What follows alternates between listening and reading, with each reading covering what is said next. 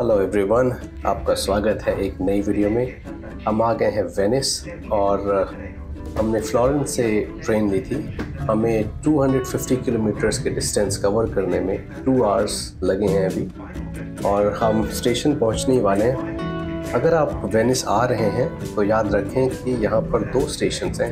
एक है वेनेसिया मेस्त्रे वहाँ आपको नहीं उतरना है। दूसरा स्टेशन है वेनेसिया सांता लुचिया यहाँ आपको आना है। वेनिस 118 आइलैंड्स का एक ग्रुप है और जो वेनिस जहाँ हम जा रहे हैं, वो उनमें से एक आइलैंड है जो यहाँ इस ग्रुप का एक मेन आइलैंड है। तो ये जो स्टेशन है इसके पास में।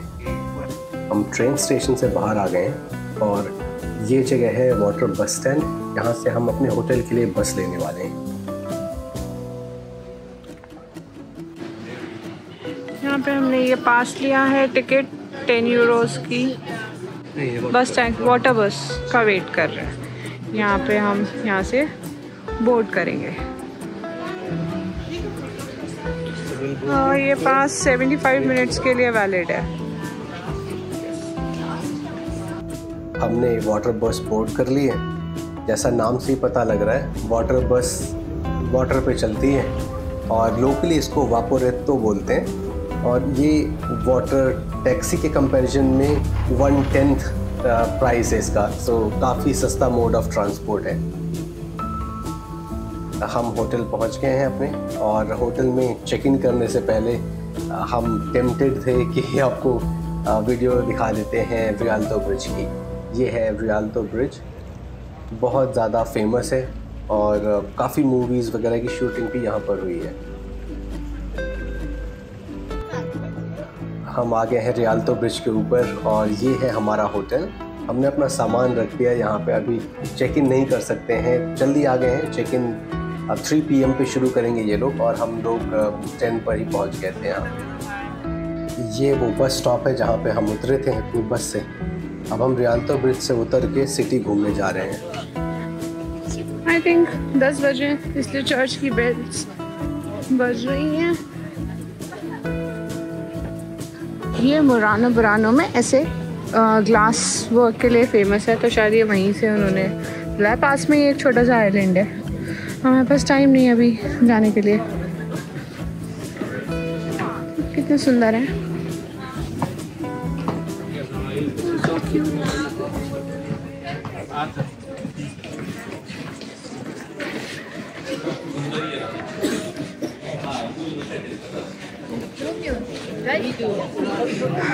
हाँ पता नहीं क्या है, कौन सा यहाँ का इनका शर्ट ड्रेस होगा। बहुत शाही सा।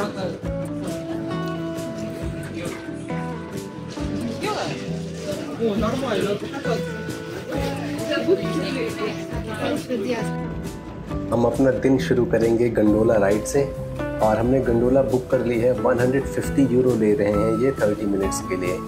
तो बस हम जा रहे हैं अब।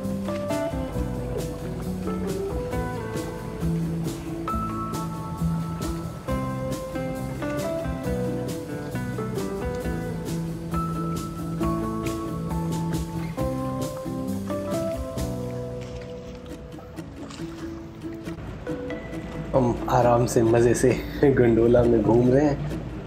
इट्स अ नाइस एक्सपीरियंस काफ़ी अच्छा है। एक ट्रेडिशनल वे ऑफ़ ट्रैवल है यहाँ पर ये, और टूरिस्ट के बीच काफ़ी पॉपुलर है। तो हम गंडोला राइड ले रहे हैं आराम से।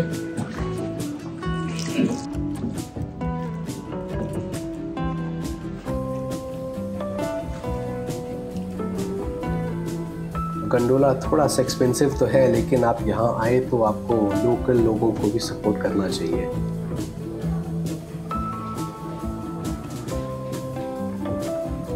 जब आप गंडोला राइड लेते हैं तो ये ग्रैंड कनाल से होते हुए पीछे गलियों में आपको लेकर जाते हैं। और आपको सराउंडिंग्स तो दिख ही रहे होंगे। यहाँ पे ऐसे छोटे छोटे बहुत सारे कनाल्स हैं, जिसके थ्रू आपकी गंडोला जाती है।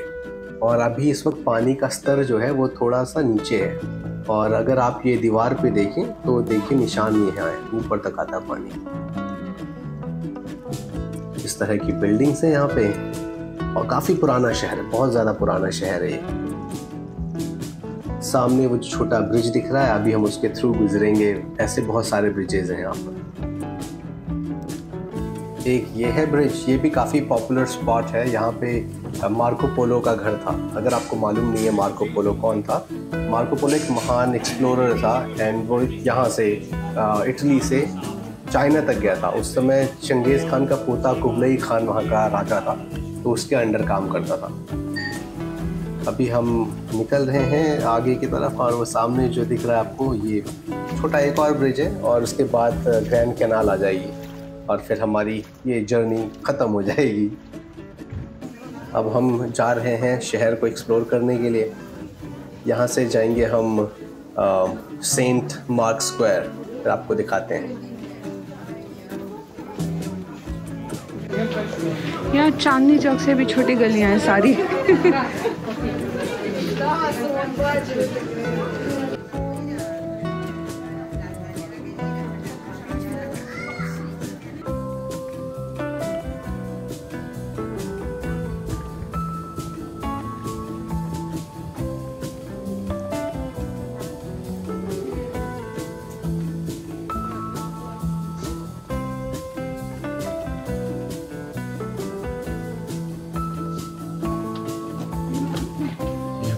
वेनिस की पतली पतली गलियाँ। इनफैक्ट वेनिस काफ़ी छोटा है और यहाँ पे आप अगर एक दिन लेकर आए पूरा सुबह से शाम तक तो आप पैदल पैदल पूरा घूम सकते हैं। ऑब्वियसली एंडोरेंस तो चाहिए because by end of the day आप may be fifteen twenty kilometre चल लोगे तो कंफर्टेबल शूज़ और अच्छा जज्बा लेकर आए और टहलें यहाँ पर।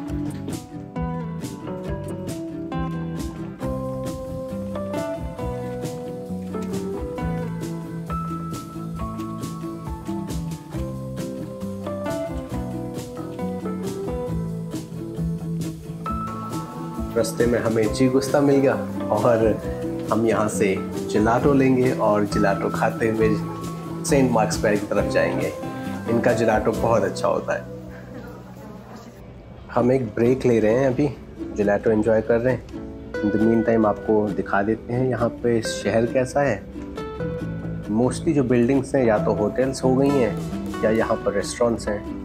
जैसे ये वाला हार्ड रॉक कैफ़े और यहाँ की पॉपुलेशन काफ़ी कम है।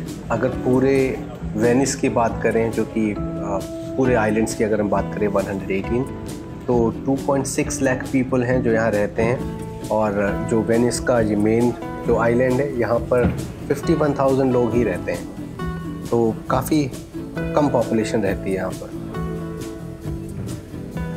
आज 25 दिसंबर है क्रिसमस डे इस वजह से मोस्टली सारी शॉप्स बंद हैं।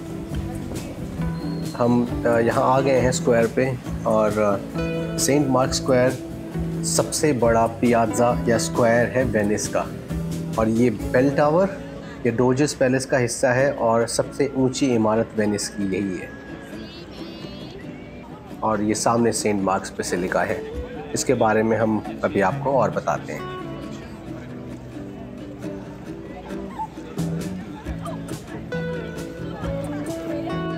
हम लोग इस वक्त हैं Saint Mark's Saint Mark's Square पे और हमारे पीछे है Saint Mark's Basilica Basilica of Saint जरा बताना क्या है इसके बारे में? कि बस little introduction about this place इतना ही पता है। इसका नाम है कंस्ट्रक्शन स्टार्ट हुआ था थाउज़ेंड सिक्सटी थ्री में एंड कंप्लीशन था सिक्सटीन सेवनटीन में। अच्छा।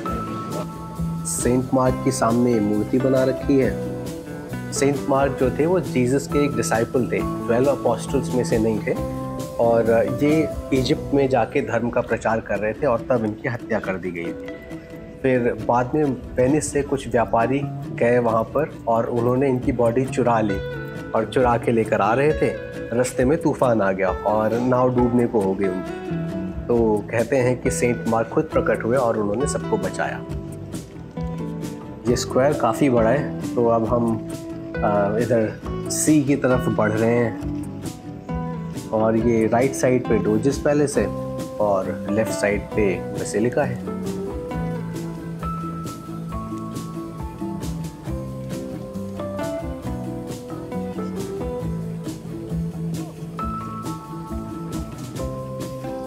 अब हम जा रहे हैं सी की तरफ़ और ऑफ़ द टॉपिक एक बात बता देता हूँ कि अगर आप ट्रेन से वेनिस आ रहे हैं तो आपको जैसा मैंने बताया था वेनेजिया मेस्त्र स्टेशन पे ना उतरें।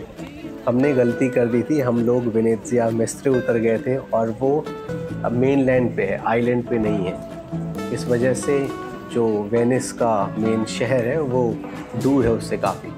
तो हम लोगों को दूसरी ट्रेन लेनी पड़ी थी। और थोड़ा सा हैज़ल तो था ही। तो आप इससे बचें और सीधे वेनेजिया सांता लुचिया आएँ।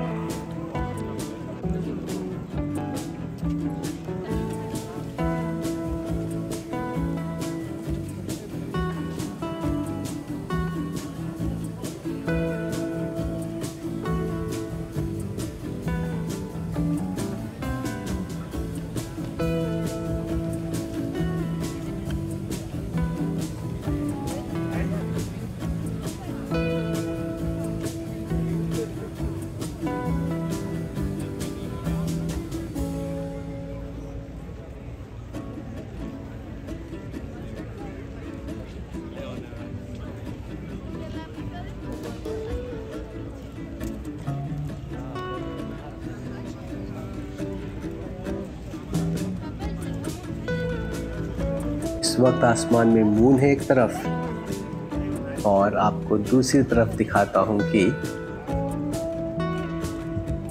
सूरज अभी भी चमक रहा है। अब हम वापस लौट रहे हैं, जा रहे हैं होटल की तरफ़। रास्ते में शॉप्स तो हैं, लेकिन सिर्फ़ डिस्प्ले पे ही चीज़ें दिख रही हैं। शॉप सारी क्लोज हैं, आज बताया था मैंने आपको, क्रिसमस डे है। तो अगर आप आते हैं क्रिसमस के टाइम पे तो एक अच्छा आइडिया होगा कि आप एक दिन और लेकर आएँ, उससे आपको शॉपिंग ऑप्शंस मिल जाएँगे। हम अभी देख रहे हैं यहाँ पे चीज़ें क्या अवेलेबल हैं। ग्लास की काफ़ी चीज़ें हैं। हम मुरानो बुरानो नहीं जा रहे हैं। लेकिन मुरानो एंड बुरानो भी वेनिस के 118 आइलैंड्स में से दो आइलैंड्स हैं, जहाँ पे ग्लास वर्क होता है काफ़ी तो जो यहाँ आते हैं वेनिस वो एक दिन एक्स्ट्रा लेकर डे टूर कर लेते हैं मुरानो एंड बुरानो का। तो वो एक अच्छा आइडिया होगा अगर आपके पास टाइम है तो आप कर सकते हैं। अभी मैं आपको आ, सिर्फ़ वेनिस की गलियाँ दिखा देता हूँ। मोस्टली रेस्टोरेंट्स ही ओपन है और इसके अलावा बाकी सारी शॉप्स तो क्लोज ही हैं।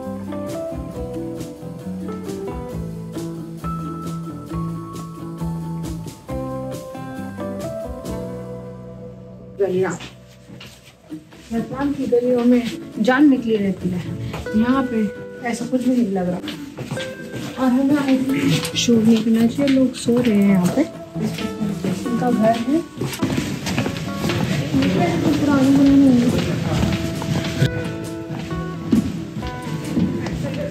मौसम हालाँकि बहुत अच्छा है।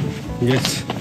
Not too cold not too warm यहाँ पे सही बिल्कुल जगह नहीं मिलती है मैंने देखा है। Yes. इतना भीड़ लग जाती है ब्रिजेस पे छोटे छोटे और फिर फ़ोटो खींचने वाले बहुत हैं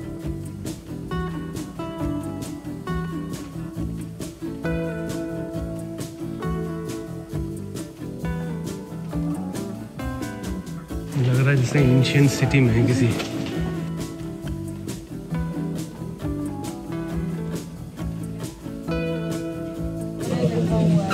हैं मार्को पोलो रेस्टोरेंट वेनिस में इन्होंने ऊपर नोट लगा रखे हैं खूब सारे ये जस्ट सिग्निफाई करता है कि मार्को पोलो ने कितने सारे देश ट्रैवल किए थे तो जस्ट सिग्निफाइज ट्रैवल यहाँ पे खाना बहुत अच्छा है। तो अगर आप इधर आते हैं वेनिस में तो आप मार्को पोलो में खाना खा सकते हैं। इट्स इट्स अमेजिंग बहुत बढ़िया खाना। है नहीं नहीं नहीं खाना कैसा है? खाना कैसा है? इट इज़ वेरी नाइस हम लोगों ने वेजिटेरियन ऑर्डर किया। हम लोग वेजिटेरियन है तो वेज खाना ढूंढना थोड़ा मुश्किल हो जाता है। तो हमने वेजिटेरियन खाना ऑर्डर किया है और अब हम उसको एंजॉय कर रहे हैं। It is it is good so if you want to और if you are visiting Venice आप यहाँ आके खा सकते हैं। ये है रियाल्टो ब्रिज और ऑब्वियसली ये ग्रैंड कनाल है। हम अपने होटल के टेरेस से ये वीडियो बना रहे हैं। आ, हम रुके हैं होटल रियालतो में और ये रियालतो ब्रिज के बिल्कुल पास में है और ऑब्वियसली यही रीज़न था कि हमने ये होटल बुक किया था। काफ़ी पैनोरामिक व्यू है यहाँ से। ये तो अभी इवनिंग है आई होपिंग कि सुबह ज़्यादा बेहतर व्यू आएगा। For now yes Rialto Bridge Rialto को ज़्यादातर लोग हिस्ट्री से कम फ़िल्मों से ज़्यादा जान रहे हैं। कई फ़िल्मों में म्यूज़िक वगैरह में या वीडियो में इसको दिखाया गया है। बट जनरली स्पीकिंग इसको 1500 में रेनोवेट किया गया था। इससे पहले ये दो बार कोलैप्स हो चुका है पहले लकड़ी का था तो एक बार आग लग गई थी थर्टीन हंड्रेड्स में। और फिर उसके बाद आई थिंक फिफ्टीन हंड्रेड्स में जब फिर से थर्ड टाइम टूटा था तो इसको रिकन्स्ट्रक्ट किया गया था और उस टाइम पे मिकेल एंजलो भी आया था, जिसने इसके डिज़ाइनिंग में या इसकी डेकोरेशन में अपना जो भी योगदान दिया होगा दिया होगा। बट ये इसीलिए फ़ेमस है कि बहुत पुराना है। वेनिस शहर जो है, वो तो 321 समथिंग में बसा था और अभी तक स्ट्रॉन्ग तो काफ़ी एंशंट शहर है और इसीलिए लोग यहाँ पे शायद आते भी हैं। To admire the beauty of this, the canals and um, the old buildings. So बढ़िया है This is a nice place to be. This marks the end of our day in Venice. हम लोग रेस्ट करेंगे और कल जाएँगे मिलान मिलते हैं आपसे नेक्स्ट वीडियो में